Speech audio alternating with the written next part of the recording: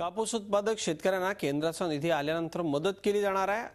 अन्य दुष्काळग्रस्त शेतकऱ्यांना तीस जानेवारीपर्यंत थेट त्यांच्या बँक खात्यात आर्थिक मदत जमा करण्याचे आदेश देण्यात आल्याची माहिती महसूल मंत्री एकनाथ खडसे यांनी दिली आहे. ते धुळे जिल्ह्यातल्या बोराडी इथं बोलत होते. कापूस उत्पादकांना दिलासा मिळावा आणि त्यांचा उत्पादन खर्च कमी व्हावा.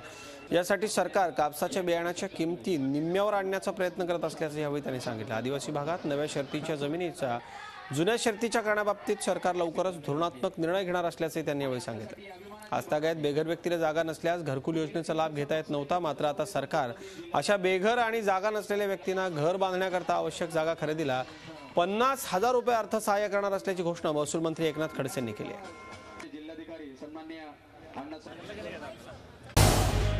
झी चोवीस तास रहा एक पाऊल पुढे.